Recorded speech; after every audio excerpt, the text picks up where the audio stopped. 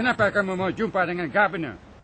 Kami datang untuk membantah tuduhan polis yang menuduh kami membunuh dua orang peniaga Dayak di ulu sungai Sugut. Kalau bukan kamu, siapa lagi? Ternyata Mat Saleh bertindak rasional sebagai seorang pemimpin rakyat. Namun British menyifatkan sebaliknya. Perintah dikeluarkan oleh Governor untuk memburu dan menangkap Mat Saleh. Kenapa kita perlu serang Ambung Datuk? Kerana serangan ini sajalah yang dapat menyerahkan company British. Yang kita di sini bukannya boneka. Kita masih ada maruah. Pihak SBUB mahu Mat Saleh diburu dan ditangkap. Tetapi Kowi membuat keputusan untuk memberi keampunan kepada Mat Saleh sekiranya beliau mahu bersumpah taat setia kepada pihak SBUB. Akhirnya, WC Kowi membuat keputusan untuk berdamai.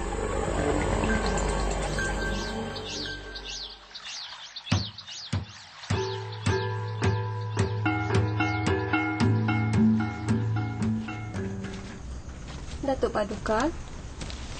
Apa bayang Datuk Paduka fikir ni? Dari tadi lagi, Dayang tengok, Datuk resah dan gelisah. Kenapa Datuk? Aku tidak apa-apa Dayangku. Cuma, aku terlampau fikir pasal masa depan tanah air kita. Kita dah dengar berita. Durang cakap, pihak company ada menawarkan perdamaian. Betulkah Datuk? Hmm, betul Dayang. Jadi, apalah pendapat Datuk Paduka? Apakah Datuk tidak mahu menerimanya? Kita juga dapat tahu. Durang janji untuk kasih ampun Datuk, kan? Dayang macam tahu sini cerita ni. Hmm, Bukan yang dah tahu dorong tu. Penipu, pembohong. Dah tahu apa lagi mesti lihat dorong sekarang. Kita tak boleh terima bulat-bulat dong punya cakap tu. Apalagi kalau dong berjanji. Kita dah menerima berita daripada Paduka Ayanda Sultan. Ayanda bilang, kita terima saja bah perdamaian ini. Kita berunding dulu. Manalah tahu, lepas perdamaian itu, hubungan Datuk dengan pihak company akan bertambah lebih baik. Aku tidak yakin. Tapi demi ayahanda Sultan, aku mesti fikir dulu. Lagipun, aku buat semua ni kerana tanah air yang tercinta. Dayang faham, Datuk Paduka. Tapi nasihat ayanda perlu juga kita fikirkan. Ha. Seperkara lagi. Lepas saja perdamaian itu selesai, Paduka Ayanda mau ajak kita menunaikan haji bersama-sama. Menunaikan haji. Tengoklah. Aku fikir betul-betul lah dulu.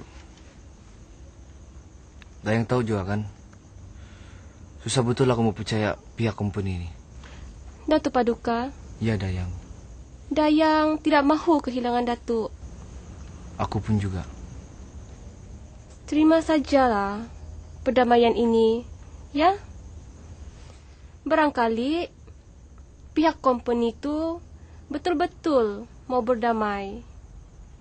Kalau tidak, manalah Bayanda menyokongnya. Dayang, aku mesti juga minta pendapat dari suku kaum yang lain. Dan kita juga mesti dengar pandangan dorang. Sebab susah senang aku selama ini bersama dorang juga.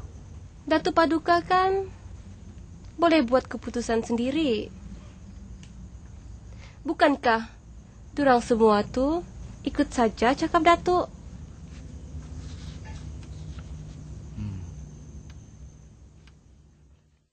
Uh, apakah hubungan di antara Dayang Bandang dan Sultan Sulu?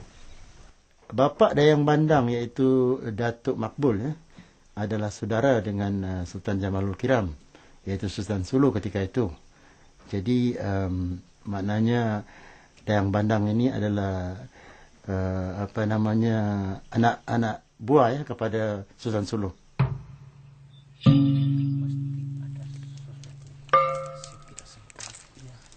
Assalamualaikum. Waalaikumsalam. Oh, Datu Paduka rupanya. Datu Paduka. Apakah perancangan Datu selepas ini? Datu Paduka. Apakah pendirian Datu tentang tawaran company kali ini? Begini. Sebenarnya aku betul-betul risau sekarang nih. Yang pertama tentang keikhlasan company pihak British. Yang kedua tentang Ayahanda Sultan Sulu. Baginda begitu yakin dengan pihak company. Bagaimana pula kalau dia benar-benar ikhlas Datuk? Pada firasatku, itu hanya tipu hela mereka. Kerana mereka tidak dapat menangkap aku. Tetapi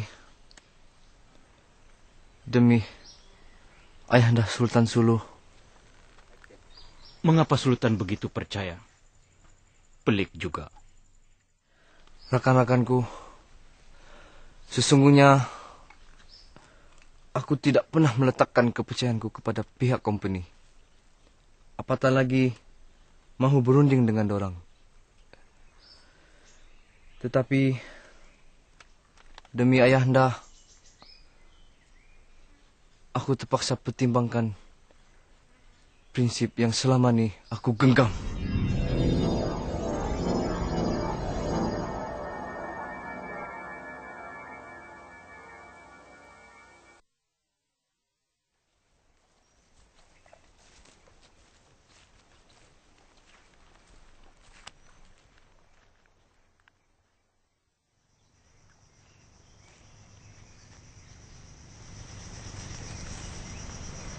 Datuk, apa kabar?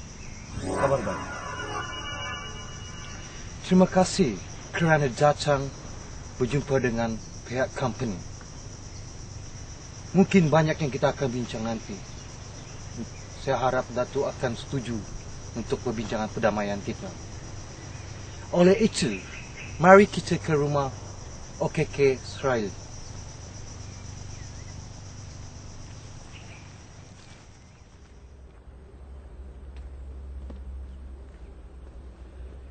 Pada 19 April 1898, buat kali pertama, Mat Saleh berunding dengan William Clark Cowie di Palutan, iaitu di kawasan Ulu Menggatal.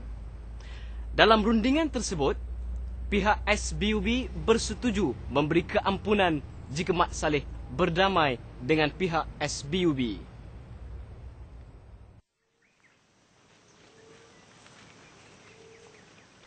Pada 20 April, buat kali kedua, Mat Saleh berjumpa dengan Cowie yang ditemani Wise, Pearson dan Gubernur Beaufort. Mat Saleh telah menjelaskan beberapa perkara namun tiada kata sepakat dicapai dalam rundingan ini. Pada 22 April 1898, Cowie, Wise, Pearson dan Beaufort bersama satu pasukan polis Sikh satu pasukan askar dan tentera laut bertemu dengan Mat Saleh untuk mengadakan perundingan untuk kali kedua. Pada 23 April 1898, Mat Saleh dan pihak SBUB telah menandatangani satu perjanjian di rumah OKK Serail di Menggatal. Silakan. Silakan. Silakan.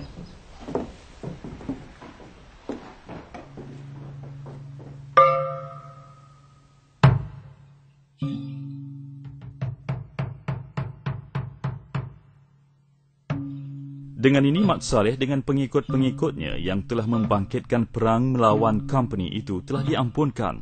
Tetapi orang-orang yang telah melarikan diri dari penjara dan melakukan kesalahan tidak termasuk di dalam senarai pengampunan ini. Shah Bandar dan Malin akan segera dibebaskan oleh company dari penjara Sandakan jika mereka masih ada dalam penjara itu.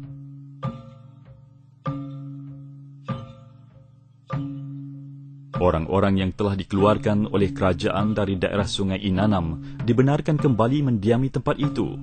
Tetapi sekiranya masih ada lagi orang-orang yang mahu membangkitkan kekacauan, mereka tidak dibenarkan menetap di Inanam kecuali mendapat kebenaran OKK Serail, pegawai daerah dan lain-lain pegawai company.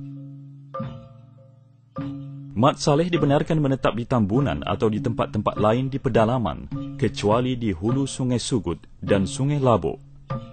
Kerajaan berharap Mat Saleh akan menggunakan pengaruhnya untuk memujuk penduduk di situ supaya tidak lagi menentang kerajaan.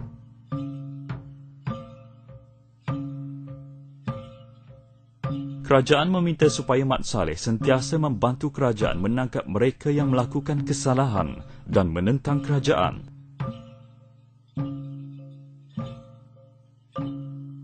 Mat Saleh hendaklah memberi maklumat kepada kerajaan mengenai pergerakan yang dilakukan oleh mereka yang menentang kerajaan. Jika Mat Saleh datang ke pesisir pantai, dia haruslah melaporkan dirinya kepada pegawai daerah di daerah itu. Mat Saleh dan pengikutnya telah berpindah ke Tambunan seperti mana yang dikehendaki dalam perjanjian. Walau bagaimanapun, Mat Saleh membina kubu yang lebih besar dan kukuh di kampung Tibabar sebagai langkah berjaga-jaga. Mat Saleh sendiri sebenarnya tidak berpuas hati dengan isi perjanjian tersebut kerana banyak perkara yang telah dipersetujui bersama dengan Kowi tidak dimasukkan dalam perjanjian tersebut. Sekali lagi, Mat Saleh merasa dirinya telah tertipu sebagai langkah berjaga-jaga, Mat Saleh pergi ke lawas untuk mendapatkan senjata, ubat bedil dan peluru daripada Abu Bakar. William Clark Cowie sendiri telah menulis dalam buku hariannya bertarikh 3 Mei 1898 dengan menyatakan, Mat Saleh is right. The term of agreement signed by him were not altogether in accordance with those verbally agreed upon, but the matter can easily be explained and put right. Pada tahun 1898, pertelingkahan antara suku kaum Tegahas dan Liwan tercetus. Suku kaum Tegahas telah meminta bantuan Mat Saleh. Akibat daripada tindakan ini, suku kaum Liwan pula telah bersumpah taat setia pada pihak SBUB dan membenarkan pihak SBUB mendirikan sebuah balai polis. Mat Saleh melancarkan beberapa serangan bersama suku kaum Tegahas disebabkan marah dengan penglibatan pihak SBUB dalam pertelingkahan ini. Majlis Mesyuarat Gubernur Borneo Utara telah membuat keputusan untuk menghantar Kapten Harrington bersama pasukan polis yang kuat dari Sandakan untuk menentang Mat Saleh di Tambunan pada 9 Disember 1899. Lawas juga merupakan salah satu lokasi terpenting kerana di sinilah Mat Saleh mendapatkan bekalan senjata sebagai persiapan sebelum bertempur dengan pihak company.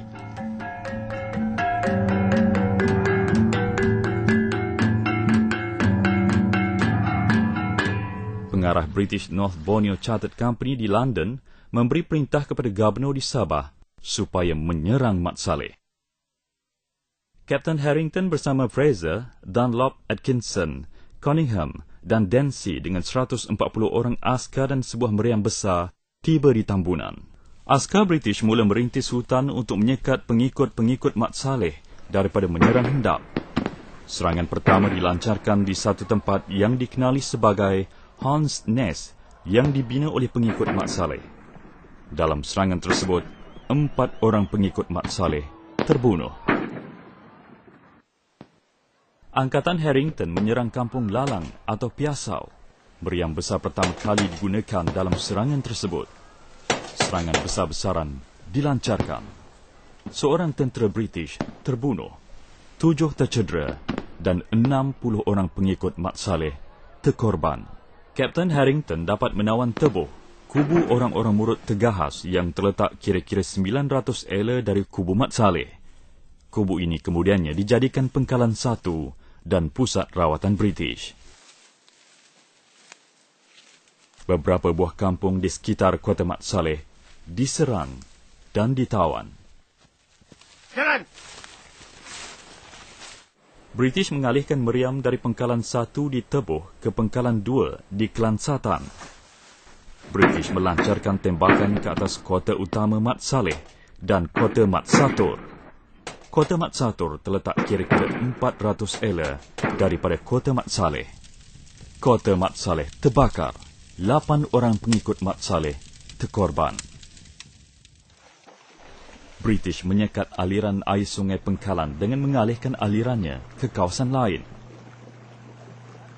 British memulakan serangan ke atas kota Mat Saleh. Pada 29 Januari 1900, pihak SBUB meningkatkan serangan ke atas pengikut-pengikut Mat Saleh dengan memindahkan meriam-meriam mereka ke atas bukit Sensurun. Serangan ini tidak mematahkan semangat perjuangan mereka bagi mempertahankan tanah air walaupun hingga ketikisan darah terakhir.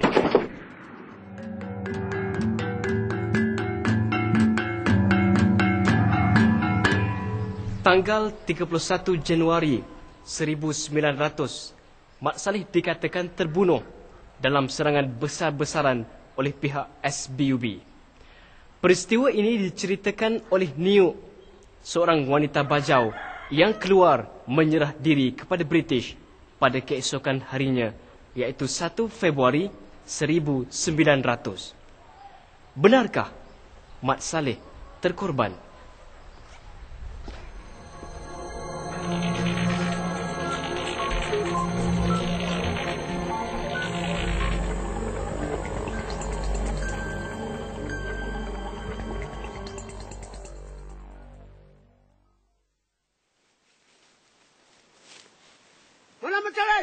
Mati. Jalan, jalan, jalan, jalan, jalan. Ada pendapat yang mengatakan Datu Mat Saleh tidak terbunuh kerana yang mati itu adalah adiknya yang mempunyai rupa paras dan susuk tubuh yang hampir sama dengan Datu Mat Saleh. Nio sengaja menceritakan sedemikian sebagai helah agar British tidak meneruskan tindakannya memburu Datu Mat Saleh. Namun, adakah dakwaan itu benar? Cerita kematian tokoh pejuang ini terus menjadi tanda tanya berikutan kubur Mat Saleh yang tidak dapat dikenal pasti. Ada pendapat lisan yang mengatakan beliau muncul dengan nama Haji Abdul Salam. Persoalannya, adakah pendapat ini mempunyai asas dan bukti? Walaupun terdapat pelbagai pendapat tentang kematian beliau, namun apa yang pasti, pihak SBUB tetap beroleh kemenangan berbekalkan kekuatan dan kecanggihan senjata yang dapat mengalahkan Datu Mat Saleh serta pengikut-pengikutnya dan seterusnya menguasai negeri Sabah.